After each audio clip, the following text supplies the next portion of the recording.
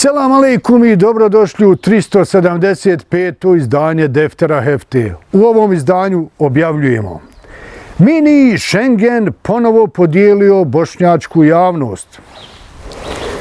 Frljava alternativa kao trojanski konj srpsko-hrvatski sponzora SDA. Republika Srpska pred financijskom blokadom zbog bojkota države. Ekskluzivno iz Australije, Said Smajić i Hasan Alijagić o hapšenju muftije i njegovih saradnika. Drama u Londonu. Kavazovićevi poleni prodaju mežđi za 550.000 funti. Kako bi se odvijala reforma islamske zajednice? Tuga do beskraja priča o babi Elviru i sinu Emelu Bajramoviću. Voditeljica na federalnoj televiziji uzvikivala ajmo. Učitelj reagovao, urednik odgovorio. Pa sjaluk malograđanštine. Sretan je onaj koga ujede doktor Rottweiler. I na kraju poje zija. Oj, Fatmire, ti čelava glavo, zbog tebe rijaset svu noć nije spavo.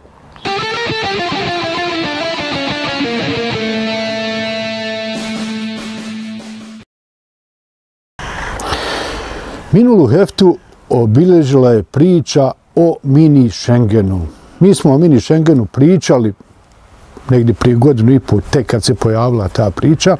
I već tada se moglo vidjeti da je bošnjačka javnost potpuno podijeljena na one koji jesu zato da se ispoštuje u to vrijeme Beogradska inicijativa, da se tope granice na Zapadnom Balkanu, kako bi se stvarale ekonomske pogodnosti za privrednike i kako bi taj protok roba, kapitala, ljudi bio što lakši. S druge strane, bili su oni koji su kazali da se radi o srpskom svetu ili okviru za novu veliku Srbiju. Pa će se onda tu sukobiti jedna i druga mišljenja. Ono što je važno za Bosnu i Hercegovinu znati jeste da integrativni faktori unutar Bosne i Hercegovine zavise od integrativnih faktora na regiji. Što je više integracija na prostoru bivše Jugoslavije, na Zapadnom Balkanu, to su jače sile kohezije unutar Bosne i Hercegovine. Posebno je to važno za bošnjački narod. Zašto bi to nama odgovaralo da granice budu podebljane? Kad mi imamo na Sanđaku svoju braću Bošnjake. Pa imamo dole prema Kosovu isto tako Bošnjake. Pa sva ta integracija bi doprinijela tome da u Bosni i Hercegovini razlike padnu na najmanju moguću mjeru, a da se otvore pozitivni ekonomski i drugi tokovi. Kada se bude u narednom periodu raspravljalo o tome da li pristati na mini Schengen ili ne pristati, moramo računati na to da je bosansko-hercegovački nacionalni i patriotski imperativ da se ove snage integracije šire i na Zapadnom Balkanu, a što će doprinijeti da se tope razlike unutar Bosne i Hercegovine, da se tope raznorazne entitetske i kantonalne granice, e kako bismo svi postajali opet u kontekstu evropskih integracija jedan ekonomski i kulturni prostor.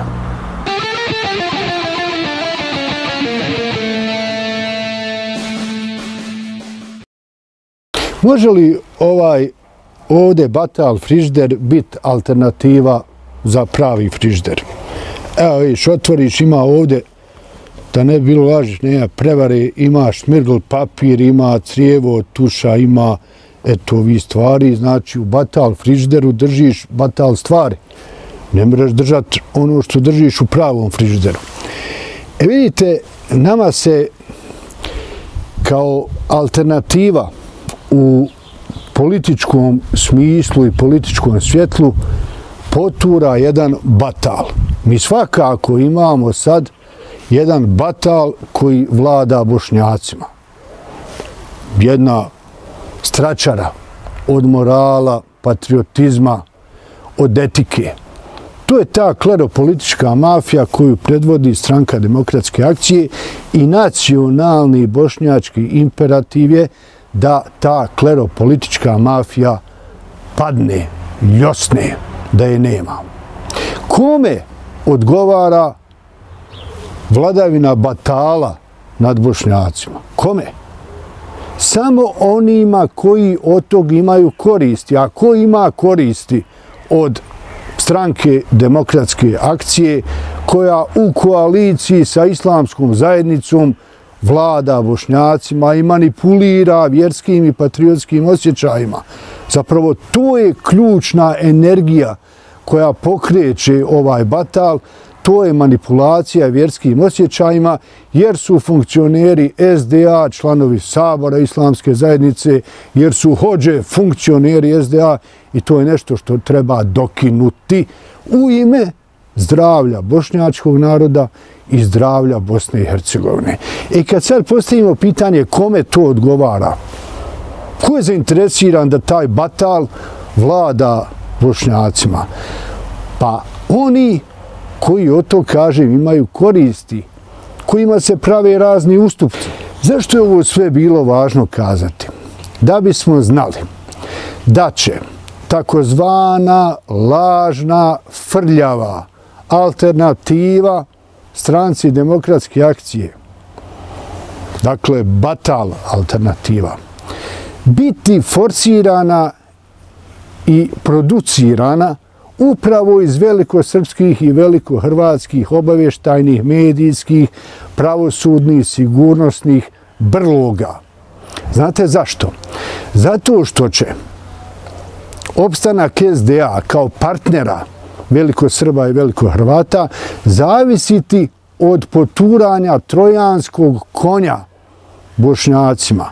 Biva evo vam alternative, ali tu alternativu u vidu Dine Konakovića i ostalih će kontrolirati i forsirati oni kojima je stalo da opstane SDA. Dakle, nema kvalitetne alternative kod Bošnjaka.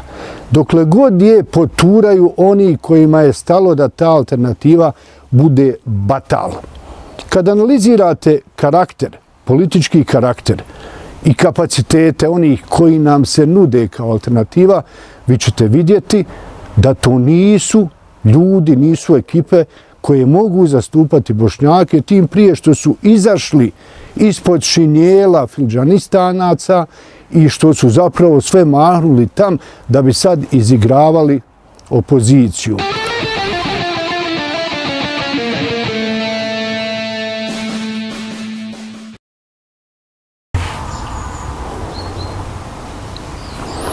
Svjedoci ste da političari, zastupnici, dužnostnici iz entiteta Republika Srpska neće da sudjeluju u državnim institucijama i da sprovode bojkot. Kao što je kazano u nekim komentarima, nigdje nije definirana takva mogućnost, što znači da bi takvu mogućnost trebalo sankcionirati. Trebalo bi sazvati parlament Bosne i Hercegovine, trebalo bi pozvati na odgovornost međunarodne mentore koji su nam skrojili ovakav dejtonski poredak, da vidimo šta ti mudraci kažu koji su u ime demokratije razne ustupke pravili, pa sad ovi mogu da sprovode tu i takvu hajdučiju. Postavlja se pitanje granice dokad i kako doskočiti tom udaru na ustavni poredak. Kad kažemo dokad, onda mislimo na mogućnost nekih sankcija, budući da se evo iz e, Evropske unije predlaže da se zaustave svi financijski tokovi prema Republici Srpskoj, da nema plata, nema ovog, nema onog, pa deti onda izigravaj taj bjesluk. Zašto sve te silne, lažne demokratske forme i norme nisu doprle do srpskog kolektiviteta koji treba da razumije da je u njihovom interesu da se ne negira genocid. Da ne budeš na strani negiranja genocida.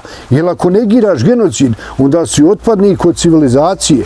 Trebalo je možda to proširiti malo i na pojam Jasenovca i stradavanja Srba u Jasenovcu i u drugom svjetskom ratu.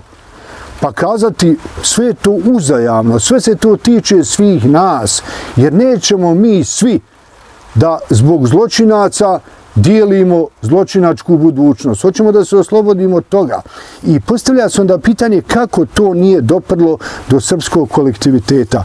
Odgovor je jasan. Znaju oni da pojam genocida nije pojam individualne odgovornosti, već da je pojam genocida pojam kolektivne odgovornosti. A ne kako to tvrdi Husein Kavazović, kaže genocid su počinili neodgovorni pojedinci. Ne, genocid je počinila država ili paradržava. A onda, ako se to tako ustanovi, onda po pravnoj normi jus cogens ima da se ukine ono što je počinilo genocid. Srbi to znaju i oni se plaše da bi taj jedini ratni plijen iz 90-ih, taj entitet Republika Srpska mogao nestati uslijed priznavanja ili zaživljavanja pojma genocid. Međutim, u odnosu na imperative integrativnih procesa, stvarno je nebitno da li će Republika Srpska postojati ili neće postojati. E, mnogo bitnije od toga je da Srbi budu zdrav narod u kolektivitetu koji neće kao vrlinu smatrati negiranje genocida i veličanje genocida. Zbog toga je dobro za Srbe da se što prije vrate u državne institucije, jer time čuvaju obraz srpskoj budućnosti.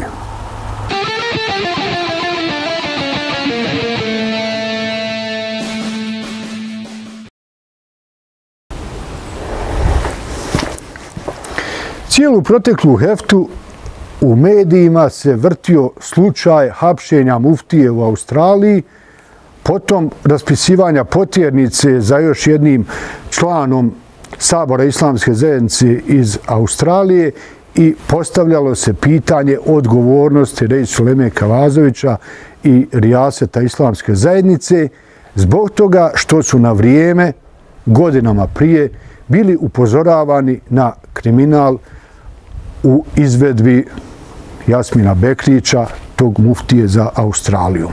Postavlja se u istinu pitanje kako neko ko je podređen može biti kriv, a nadređeni je znao da taj podređeni radi kriminalne radnje i nadređeni, dakle Rej Sulema Kavazović, je o tome obavještavan i uprkos tome je imenovao Jasmina Bekrića za muftiju i uprkos tome mu je dao podršku prilikom izbora sada u aprilu. Dakle, nije ništa uradio sa obiljem materijala dokaza o kriminalnim radnjama, već nam sad upućuje Haber da je važna presumpcija nevinosti. Pa jest važna presumpcija nevinosti, ali ima nešto što je mogao Rijaset uraditi i prije na osnovu dokaza koje je imao. Zašto je dozvolio Rijaset Zašto je dozvolio Rej Sulema Kalazović da se bošnjaci u Australiji sramote? To je bila vijest diljem Australije da je uhapšen muftija islamske zajednice, a na vrijeme su sve znali i na vrijeme su mogli otkloniti ovo što jeste bio razlog konflikata u Australiji, u našoj zajednici, i na vrijeme su mogli spriječiti tu sramotu. Naravno, postavlja se pitanje odgovornosti Rejsu Lemije Kavazovića za zaštitu kriminala i kriminalaca. U nastavku imamo mogućnost da čujemo direkt iz Australije javljanje sa lica mjesta od ljudi koji su bili uključeni već godinama u dostavljanje dokaza Rejsu Lemi Kavazoviću i Rijasetu, da oni kažu kako su doživjeli ovo što se dogodilo. U nastavku Said Smajić i Hasan Alijagić. Assalamu alaikum, poštovani Fatmir i selam i pozdrav svim eh, gledalcima Deftera Hefte.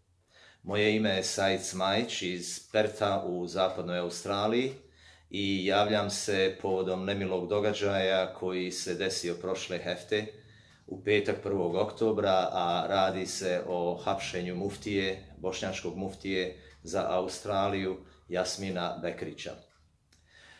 Taj događaj je uzdrmao bosansko-hercegovačku javnost kako ovdje u Australiji, tako isto u našoj prvoj domovini Bosni i Hercegovini i širom Dunjaluka gdje god žive naši ljudi.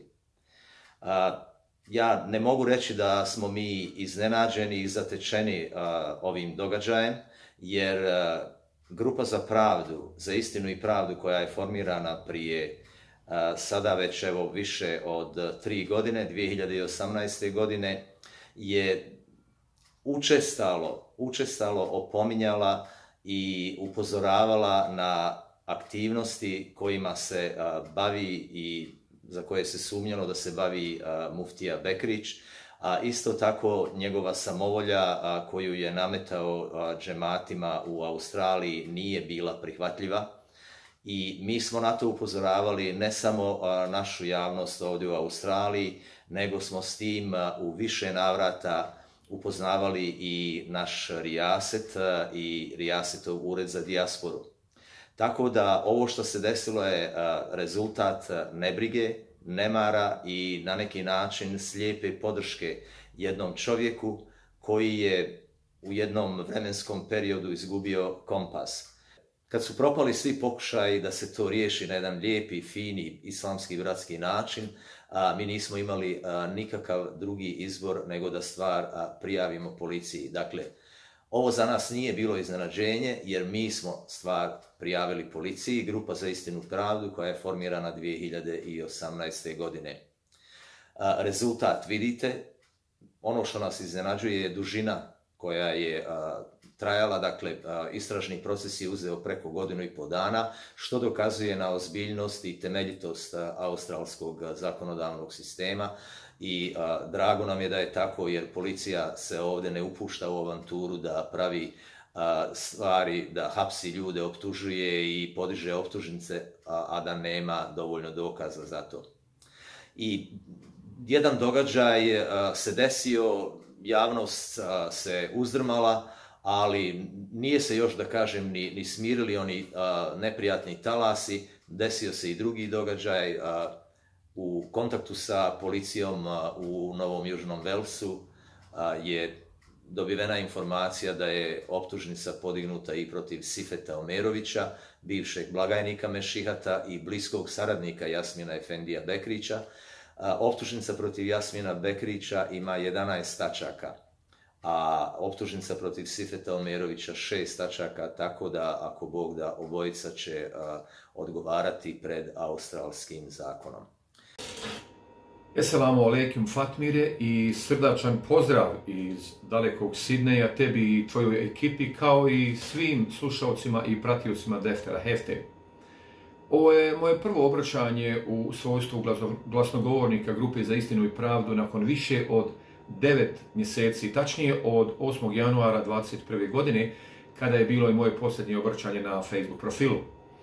Zbog istrage koju je pokrenula policija Novog Južnog Velsa protiv Jasmina Bekrića i Mešihata, ja sam imao instrukcije od policije da se povučem od svih aktivnosti i komentara sve do onog momenta dok ne bude zvanična optužnica u sudu, što sam i ispoštovao. Ja neću mnogo da pričam o procesu istrage koja se i dalje nastavlja, već ću da sumiram osnovne činioce koji su doveli do hapšenja Jasmina Bekrića i višegodišnjim procesu nepotizma, duševne korupcije i svega onoga što je dovelo do ovog stanja. Sve probleme i tegobe sa sigurnošću mogu reći bošnjacima Australija, vjerovatno i šire su nanijeli oni koji trenutno vode institucije islamske zajednice u Bosni i Hercegovini. Njihovi postupci se jedino mogu uporediti sa duhovnom i mentalnom torturom koja se sprovodi samo u totalitarnim sistemima, gazeći preko svih etičkih vrijednosti, samo da bi ostvarili svoj cilj, pritom ne birajući nikakva sredstva. Svi ti pojedinci su pali na ispitu odgovornosti, morala, pravednosti i povjerenja. Ovaj svoj uvod ću naravno i da potvrdim konkretnim primjerima, odnosno imenima, jer potrebno je imenima i prezimenima navoditi i one koji su doveli do ovog stanja, ali će trebati i one koji su se čitavo ovo vrijeme zalagali da do takvog stanja ne dođe. Svi sada kažu, vidite sramote šta nam se desi. A niko nije prihvatio odgovornost zbog neadekvatnog reagovanja kada su na desetine i stotine dokaza prilagani javno nakon odbijanja Jasmina Bekrića da u zatvorenom krugu priloži zatjevanu dokumentaciju na uvid i time skine sumnju kako sa svog imena, tako i sa institucije. Svi zaboravljaju na desetine pisama, telefonskih poziva, elektronske pošte, koja je prosjeđena na adresu pojedinaca koji vode institucije islamske zajednice u Bosni i Hercegovini i svi kažu, evo, vidi sada sramote. Moj lični stav je da to nije nikakva sramota. Mi, bošnjaci Australije, koji su podržali ovu borbu za istinu i pravdu, trebaju biti ponosni jer su bili strpljivi i na putu borbe za istinu, koji su na tako jasan i veličanstven način svima nama i preporučeni u Kur'anu, u suri Vel Asr. Imati sabor više od 13 godina i isto toliko godina preporučivati istinu je dokaz naše vrijednosti, naše odlučnosti i pripadnosti. Ja sada javno sa čistim obrazom pitam Rejsolu Lemu Huseina Kavazovića, šta je on mislio 2014. godine kada sam ja demonstrativno napustio prostorije sastanka u Sidneju na kome je on bio prisutan sa svojim prijateljima i članovima islamske zajednice u Sidneju nakon komentara koji je uputio jedan od džematlija. Naime, na sastanku na kome su džematlije Sidneja pokušale da iskoriste Rejsovu posjetu i pokušaju da riješe nagomilarne probleme koji su i doveli u čor sokak međuljudskih odnosa, jedan od džematlija po imenu Muris Delić obraća se Rejsu Lemi sa riječima, citiram, Uvaženi Rejs, za sve naše probleme ovdje u Sidneju, a i šire, odgovoran je hođa Salih Mujala. Naravno, ova konstatacija je došla nakon jedne duge diskusije koja se je vodila. Tu je završen citat. Džematlija Murisa, Muris Delić, nije ni uspio da završi svoju rečenicu i da je podupre faktima. On je bio prekinut od strane Rej Suleme sa riječima, ponovo citiram, znaš li ti da 2000 ljudi poznaje Saliha Mujala u Sarajevu? Završen citat. Nakon mog demonstrativnog izlaska iz prostorije gdje je održan sastanak, ja sam bio iskori, is, iskritikovan od, od strane svih prisutnih. Citiram šta sam rekao. Vrana vrani ne kopa oči i ja ovdje nema šta da tražim. Da sam bio tada u pravu 2014. godine, dokazi su najzadnja dešavanja koja su se desila i sa imamima koji su ovdje u Australiji, koji rade časno svoj posao, ali nisu odgovarali onima koji su bili pod zaštitom čitavo ovo vrijeme u finansijskom kriminalu i kao produžena ruka provodili politiku onoga što su pojedinci smišljali u institucijama islamske zajednice. Još jedno moje pitanje bi bilo Rejsul Lemi da odgovori javnosti zašto magistar Ismet Purdić imam u džematu Noble Park u Melbourneu ili Hafiz Ensar Čutahija su izgubili dekrete, odnosno vi ste im oduzeli dekrete sa objašnjenjima koje nemaju mjesta, ne na ovoj zemlji, ni u kosmosu. Mi tražimo odgovore upravo od vas, jer vi ste oduzeli dekrete ljudima koji rade u islamu, koji rade sa članovima bošnjačke zajednice u Australiji koji žele da budu u islamu, a vi im uskraćujete i pokušavate da izbijete iz ruku mogućnost da imaju nekoga koji ih može voditi na tom putu. Razmislite dobro, pa nam odgovorite.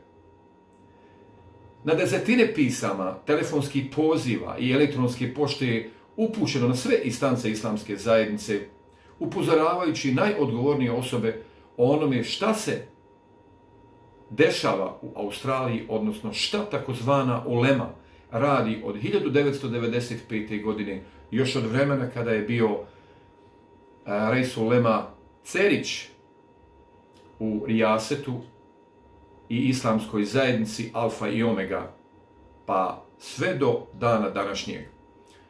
Ovim problemima je upoznata i ambasada Bosne i Hercegovine u Kamberi, ali zbog statusa islamske zajednice na toj adresi nismo mogli da se obraćamo njima i nismo željeli da ih stavljamo u nezgodne pozicije.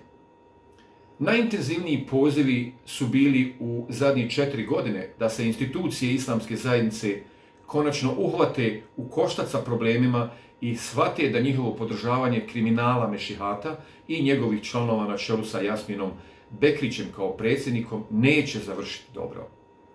Ni na jedno pismo ili bilo koji drugi vid komunikacije nikada niko nije odgovorio. I pored svih upozorenja sa naše strane, poziva na razum i rad u duhu Islama, niko od odgovornih nije sebi uzeo za zadatak da preispita dugogodišnje pozive na nepravilnosti u radu onih koji su navodno predstavljali bošnjake Australije negdje u institucijama islamske zajednice u Bosni i Hercegovini, kao i oni koji su imali priliku da dođu u Australiju, da vide stanje i da iskrivljeno stanje za šaku dolara prenesu svojim vođama i da na taj način drže slijepo one koji su mogli da ovo stanje promijene u roku 24 sata frapantan je i katastrofalan podatak da ni jedan džemat, niti džematlija iz Australije, nije učestvovao u imenovanju ili odabiru muftije i predstavnika u Saboru islamske zajednice. Zatim istim predstavnikom Bošnjaka Australije u Saboru islamske zajednice, Sifetom Umerovićem, izdata je i potjernica, a optužnica je na šest tačaka teškog financijskog kriminala, koja će, ukoliko se ne prijavio do 21. oktobra, biti proširena na sedmu tačku. U odlukama njihovog imenovanja jedina instanca odlučivanja je bio Rijaset i Sabor Islamske zajednice, a oni znajući za sve probleme koji su vezane za nominirane i postavljene osobe, oglušili su se na pozive svoje braće u vjeri, pa su tako sada i jedini krivci koji trebaju da budu prozvani i pozvani na odgovornost. Ne mogu reći da nisu znali. Znali su Mnogi su bili u Australiji, mnogi su dobili, dobili mnoga pisma, e-maile i telefonske pozive, međutim nisu se oglasili. Mi upozoravamo ponovo, po ne znam koji put, i Rejsu u Lemu da preuzme mjere u svoje ruke kako bi isključio i od, odklonio, odstranio iz džamije u Pertu, imama kojeg je on lično postavio i na sebe preuzeo odgovornost da bez ikakvih školskih kredibilnosti, bilo ikakvog školskog zvanja ili predznanja, obavlja tu funkciju. Ja ću samo da podsjetim da u ovoj zemlji možete se zvati kako hoćete, ali ukoliko zaradite dolar na lažnom imenu, na lažnoj kompaniji, vi idete šest godina u zatvor. I na kraju ovog obraćanja samo da napomenem da će 21.10.2021. godine da bude i prvo saslušavanje e, po pitanju hapšenja Jasmina Bekrića i od tog momenta ćemo onda znati i osnovne direkcije gdje će da ide proces, e, na koji sud i kakav je osjećaj sa druge strane. Naravno, mi ćemo vas obavještavati pravovremeno, međutim, to će biti dug proces i možemo vam reći e, godinu do godinu i po dana nećemo znati e, zbog obimnosti e, istrage, zbog obimnosti slučaja, zbog broja onih koji će morati biti ispitani, zbog količine materijala za koju samo vam mogu reći policija rekla da su zaplijenili onoliko dokumenta koliko je visina jednog čovjeka srdačni pozdravi svima koji prate Defter Hefte i alaikimu selam wa rahmetullahi wa barakatuhu.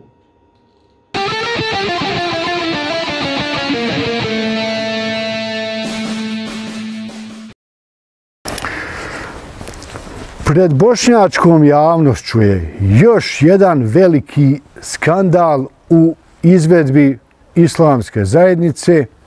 Skandal koji opet ide na teret Rejsu Lemije Kavazovića, budući da se radi o prodaji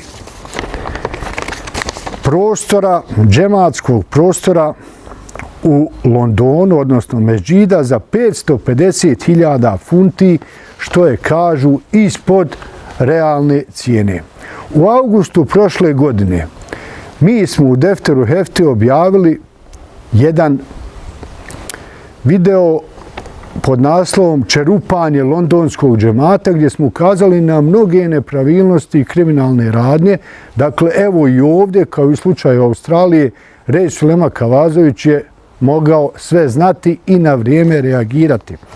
Mi ćemo pustiti u nastavku dio iz ovog deftera Hefce iz augusta prošle godine, ali evo sada jednog pisma koje je odjeknulo na društvenim mrežama, a pišu ga džematlije iz Londona. Kaže, nadam se da većina vas je upućena u nedavne dešavanja u islamskoj zajednici Bošnjaka u Australiji. Ja se iskreno nadam da i mi u našem džematu nećemo doživjeti istu sudbinu i da zbog naše šutnje buduće generacije plaćaju ceh ovom društvu. Ja kao muslimanka i kao džematlija ne smijem šutjeti. Istog razloga ovim putem želi vas obavijestiti da je 3.10.2021. godine u Londonu sazvana i održana vanredna godišnja skupština na kojoj su prisutni njih 22 donijeli odluku da se za 550.000 funti prodaju prostorije džemata. Zbog toga što na vanrednu godišnju skupštinu nisu pozvani svi članovi ni bivši ni sadašnji, koji su mnogo toga uložili u ovaj centar, nego samo probrani koji će za to dići ruku. Zbog toga, kao i zbog činjenice da za ovu odluku nije bilo kvoruma, te da su za nju glasali članovi porodica rukovodstva BH Islamic centra London, ja sam cijeli slučaj prijavila britanskoj policiji – Jer lično smatram da taj objekat, pogotovo u Londonu, vrijedi mnogo više i da već ako se treba prodati, da se to uradi na transparentan način. Dragi moji, mi smo u mnogim defterima upozoravali na kriminalnu zavjeru u rijasetu onih koji su namjerili da rasprodaju brojne džematske prostore u dijaspori pod opravdanjem da više ne trebaju i da više nema tu džematlija i onda su poduzeli jedan pravni nonsens, a to je da istjeraju starosjedioce iz džematskih odbora i da oni više ne mogu ničemu odlučivati, da bi tu došli oni koji će dizati ruku za prodaju ovih prostora, a tu su u istinu milionske vrijednosti.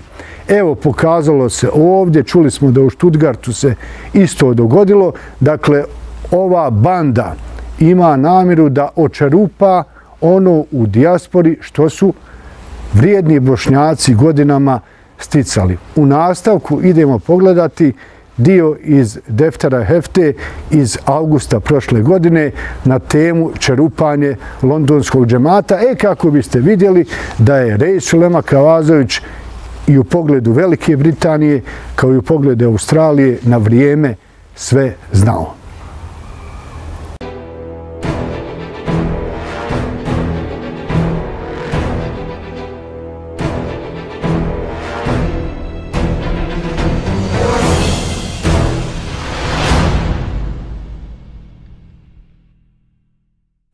Sve više dokaza da marionetski Rejs Kavazović i njegovi nalogodavci podržavaju kriminalne strukture u džematima dijaspore, a progone džematlije koji traže poštenje, pravdu i istinu. Na primjeru Australije, Austrije i Njemačke, uvjerili smo se da su kriminalci pod zaštitom Rijaseta, uprkos dokazima o milionskim krađama od zekata, vitara i kurbana. U ovom izdanju Deftera Hefte vodimo vas u Veliku Britaniju. Da vidite kako je od jednog uspješnog bošnjačkog džamata u Londonu ostala Havdika, Trstika i Šaš. Tamo sad sjedi jedan hođa sa nekoliko hajduka, ali više nema džematlija koji su razočarani i izvarani otišli u neke druge turske, pakistanske ili iranske džemate. Ovo je paradigmatska priča na kojoj možemo vidjeti šta će se događati i sa drugim bošnjačkim džematima u dijaspori ukoliko se ne zaustave Kavazović i njegovi kočijaši. Bošnjački džemat u Londonu registrovan je polovinom 1995. godine i uz njega su djelovala dva poslovna prostora, od koji su se većinom finansirale potrebe džemata. U neko doba će se ispostaviti da četiri godine nije plaćana kirija za prostorije, iako su pare ulazile, a gdje su izlazile, ostala je nepoznanica. Ustanovilo se i da je predsjednik Islamskog centra u Londonu posudio pare iz džematske kase, ali ih nikad nije vratio. Ispario je bankovni račun koji je bio registrovan na ime dopunske škole. Ubrzo će po istom principu bankrotirati i dva šopa, jer je novac umjesto u džemat korišten u privatne svrhe. Tada je otkriven i falsifikat jednog potpisa kada je otuđen dio sredstava. Kao i u slučaju Njemačke, iz Londona se kurbani rade preko privatne veze sa Australijom. Hođa Fahro ko hođa Mustafa, a hođa Mustafa ko hođa Osman. Interkontinentalna haram agencija. Po i drugim džematima u dijaspori, kad dođe do otkrivanja kriminala, imam koji uživa podršku Rijaseta smjenjuje odbor i postavlja svoje poslušnike. Ljudi koji su gradili džemat bivaju iščerani i izvrijeđani. To se dogodilo i u Londonu. Nije bilo više nikoga da pita gdje je nestalo 110.000 funti, niti da pita za financijski izvještaj o džematskim trgovinama, o parama od kurbana i članarina. Londonski džemat se nikada nije oporavio nakon ovog rastjerivanja poštenih u ime zaštite lopovluka i lopova. A onda su te 2018. godine saznali da Rej Sulema Kavazović dolazi u London. Eto pravde i prilike, eto poglavara i pravednika. Sačekali su Rejsa Kavazovića pred hotelom u kome je ocio da mu lično uruči peticiju sa 162 potpisa. Pa da pravedni vladar vidi šta je pravda, a šta krivda. Hajde da vidimo taj snimak. Dobro će on ići koliko je sati to?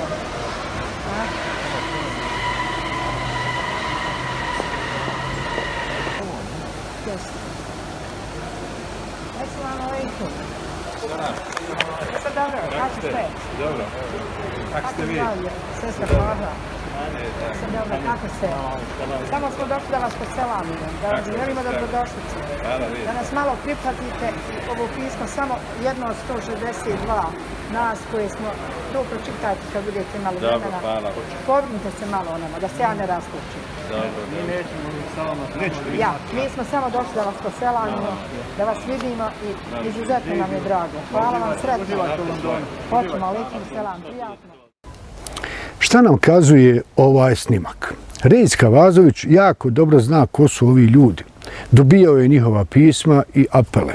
Čuo je upozorenja da je londonski džemat u Rasulu zbog kriminala i despotije. Ali Kavazović ne pokazuje želju da sasluša te ljude koje je nepravda natjerala da ga čekaju kako bi mu lično uručili peticiju sa 162 potpisa. Zar nije normalno da sa njima popije kahvu, da čuje glas naroda? Bilo bi normalno i da se baš u džematu susreo sa bošnjacima koji mu pišu pisma iz Londona. Umjesto adeta, sultan islamske zajednice bježi u neku londonsku birtiju da se druži upravo sa onima koji su rasturili londonski džemat i ponizili džematlije. Tito sa elitom, elita sa Titom. Reis Sulema Kavazović je dakle informisan o svim problemima u londonskom džematu. Ovdje je dobio peticiju iz ruke u ruku, a u međuvremenu je dobio čitav niz pisama u kojima ga džematlije iz Londona informišu o lopovlucima u londonskom džematu. Kao i u slučaju Australije, drugarice i drugovi iz Rijaseta nisu se udostojili da reagiraju. Zaboravili su oni koji vozaju lažnog rejsa. Dobro je u prednosti. Istina je u prednosti. Pošteni su u ogromnoj većini. Barabe su u manjini. Samo je pitanje vremena kada će se pred očima naroda obejaniti ovo što je mnogima odveć jasno. A kad vrijeme posvjedoči, e tad je vakat da se mijenjaju vrata i mandali. Islamska zajednica mora biti čuvana sistemom narodne nadstranačke kontrole, kako je više nikad ne bi uzjahali dželalije i dželkoši.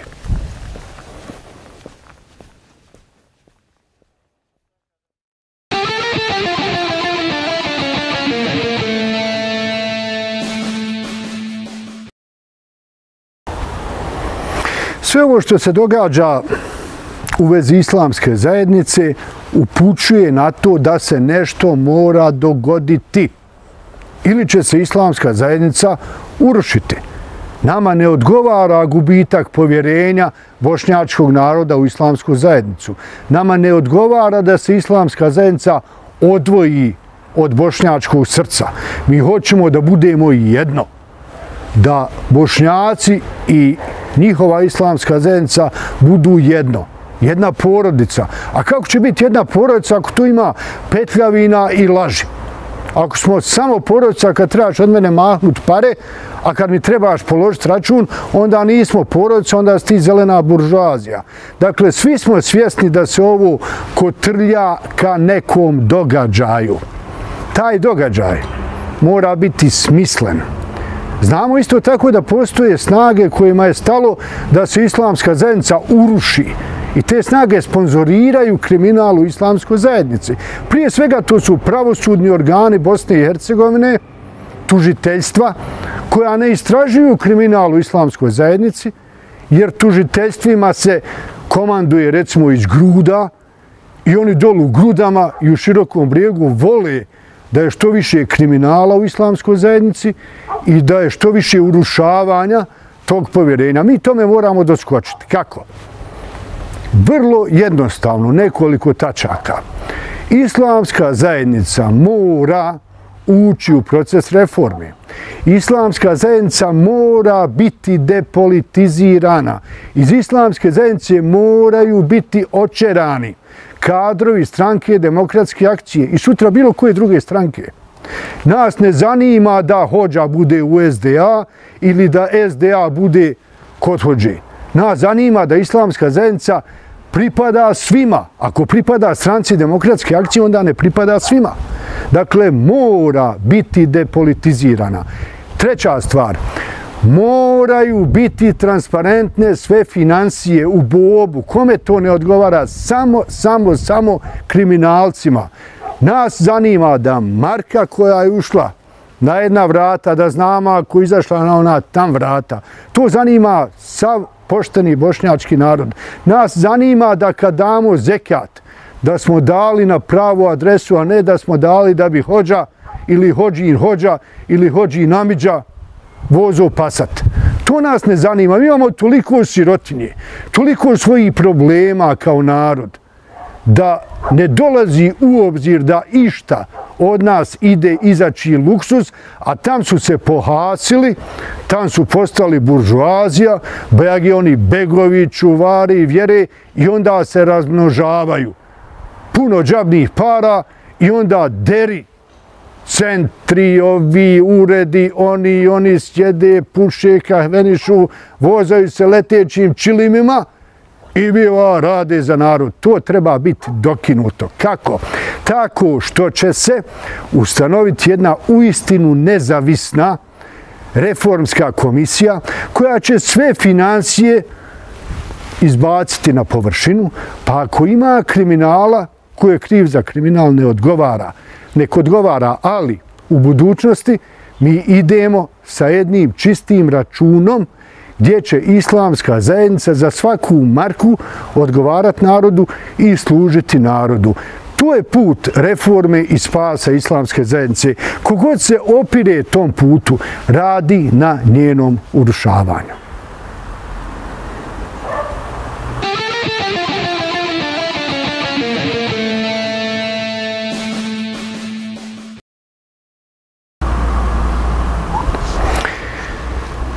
Cijelu minulu heftu na društvenim mrežama i u medijima u regionu objavljivan je snimak od prije dvije godine kada je jedan babo iz Njemačke prevalio 600 km u jednom pravcu da vidi svog sina u Zagrebu koji je došao tu u Zagreb na neki nogometni pionirski turnir.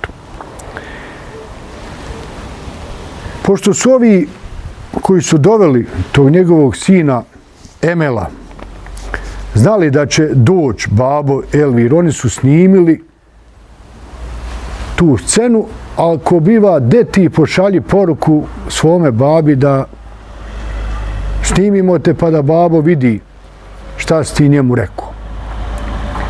I sin kaže, babo, čuvaj se. A onda hoće da zaplaće dijete, jer vidi se da taj nedostatak oca njega prati svakodnevno. To što je otac otišao u Njemačku da radi, pa bori se da i porodcu povede tamo za sobom u Njemačku, daljina čini svoje, dijete želi oca i sad šalje poruku ocu, ali mu glas zatitra. U tom se i za njega pojavljuje otac. Pojavljuje se to iznenađenje, oni snimaju i tad, kad je nastao taj snimak, isto je bio hit u regionu, jer je posvjedočio veliku ljubav.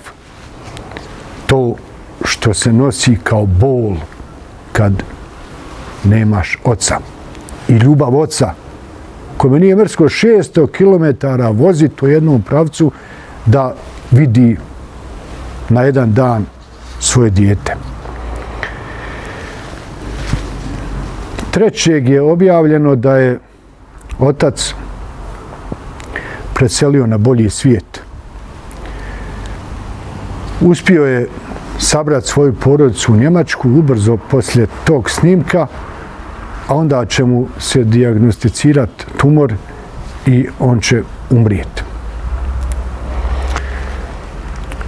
Ova slika, slika djeteta koji čezne za svojim ocem, ne može a da nam ne otvori neke naše bošnjačke rane. Ne može a da vas ne podsjetim da među bošnjacima odrasta mnogo šehidske djece i odrasle. Da među bošnjacima ima još djece koja čeznu za svojim ocem, a koji je protjeran iz Bosne i Hercegovine.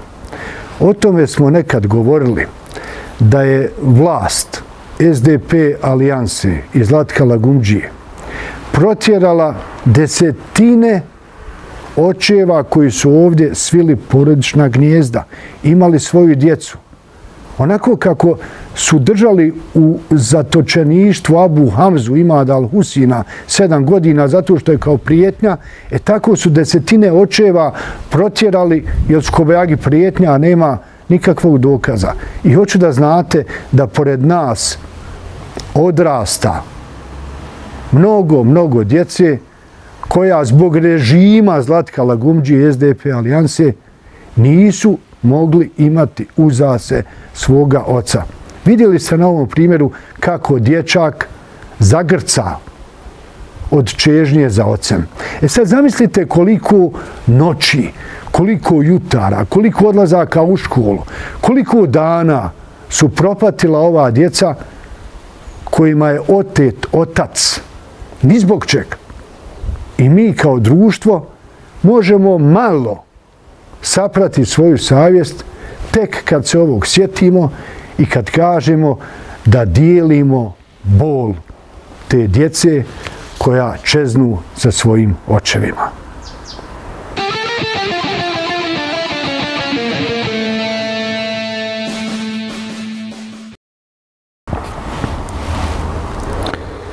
Čih, čih, čih. Aha. Tema. Voditeljica federalne televizije uzvikivala ajmo. Učitelj reagovao, urednik odgovorio. O čemu se radi? Učitelj u penziji Hasan Gradičić uputio je pismo federalnoj televiziji i nama je poslo i to pismo i odgovor. I mi sad objavljujemo kao dobar primjer bdjenja javnosti nad onim što se događa na javnim servisima. Kako će oni znati da nešto ne valja ako nećemo mi navaljivati na njih da isprave to što ne valja. I Hasan Gradišć je prava mjera. Kaže, juče je išla emisija za djecu i takmičari su bili Emina i Jusuf. A voditeljica, ne znam ime, a i ne želim ga znati, podsticala je takmičare uporno sa ajmo, ajmo. Bez obzira ko je voditeljica, ajmo ne ide jer to je prije svega krnjava i sakata riječ od riječi hajmo, a izgovara se u Srbiji jer oni mrze h kao i bosanski jezik. Zašto to moramo slušati na televiziji u federaciji? Je li to vi na velika vrata uvodite srpski jezik u Bosnu? Možete se vi ulizivati srpskim nacionalistima koliko hoćete, ali gaženjem svoga identiteta samo gubite i ponos i ugled i oni koji vas slušaju. Neka vas bude sram i stid za ono što radite i što na najmizerniji način pomažete posrbljavanju Bosne.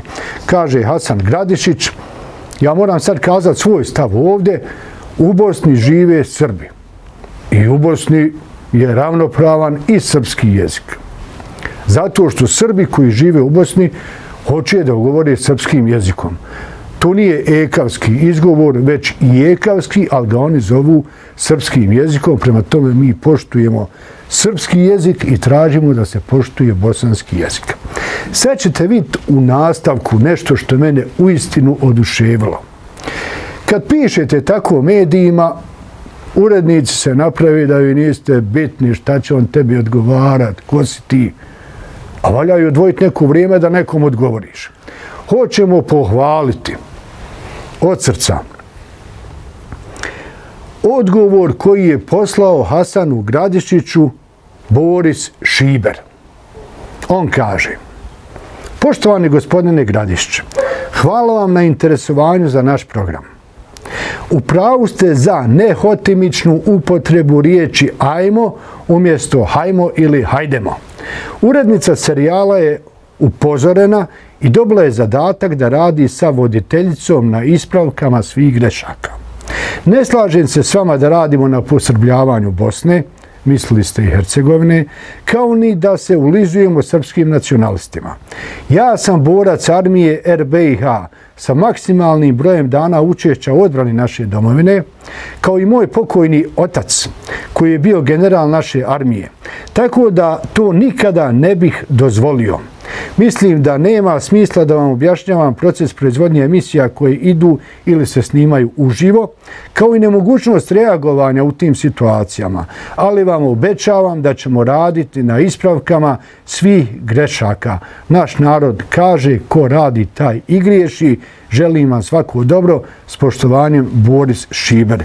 Ej mi, Borisu Šiberu, želimo svako dobro i zahvaljujemo mu se u ime gledalaca Deftera Hefte, što je ovako lijepo, pristojno pismo napisao i rekao da se takve greške više neće događati.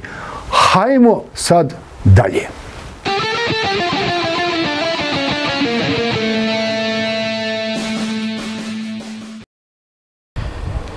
Znate li vi šta je malograđanski pacijaluk?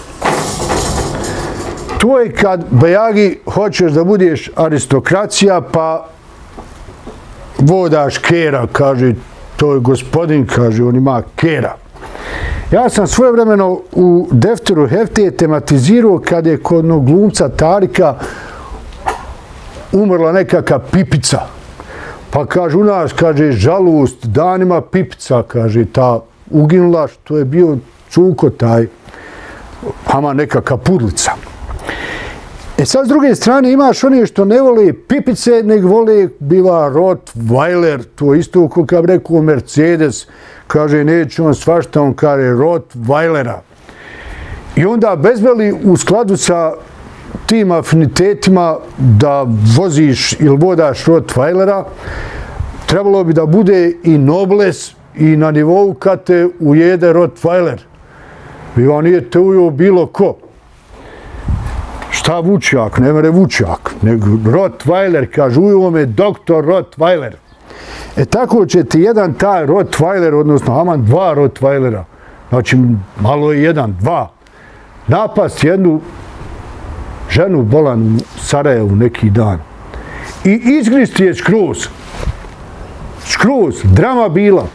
Nisu mogli ljudi tog doktora Rottweilera da očeraju od to koliko je navalio na tu stariju ženu.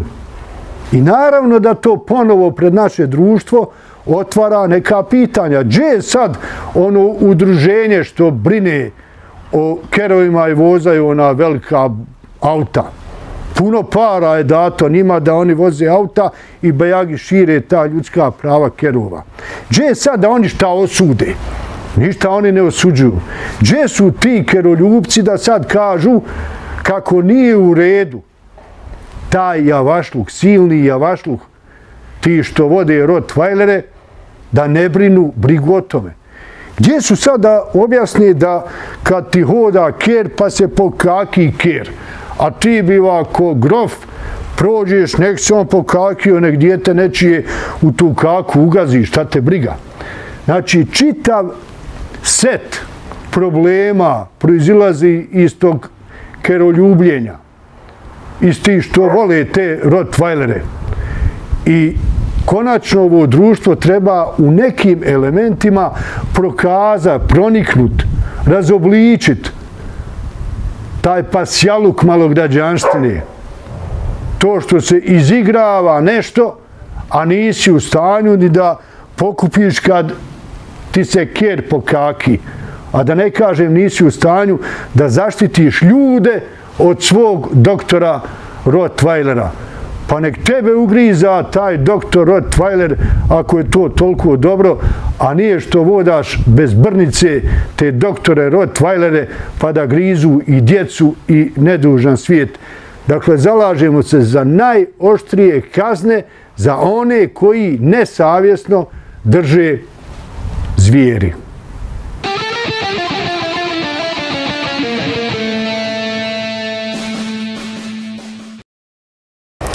I na kraju deftera naučili ste, mora biti jedna poezija. Dobio sam pjesmu od jednog našeg pjesnika koja je inspirisana hapšenjem muftije u Australiji. Ali pjesma govori o mene, Hamanđe sam ja tu objavljivo, pa biva da on mene obavijesti šta se desilo nakon što je uhapšen muftija u Australiji. E, kaže on ovako, pa sad. Hoću opet zalet tufat. Čekam, moram zalet tufat, zalet, zalet, zalet, zalet. Oj, Fatmire, ti čelava glavo. Zbog tebe, sinuć, rijaset nije spavu. A ti samo iznosiš dokaze jasne, da narod vidi čije su ruke masne. Došlo vrijeme pa vođi vjera služi da se što bolje na trosjedu ispruži. I zato viće na sve strane šaljte mi zekat i kurbane, taman me proklela i moja nane. A ti, Fatmire, samo nastavi tako, iako znamo da ti nije lako. Zaboravile vođe naše da imaju oni što sva naša djeca pišu i nose ih tamo gdje ne mogu da se izbrišu. Oj, Fatmire, ti, mudra glavu, nisam ja rekao, rekao. Zbog tebe, sinoć, nija nisam spavao. Bojim se da ti zulumčari zulum učine i zato molim dragog Allaha da te u svoj zaklon zbrine. Amin, Arabi.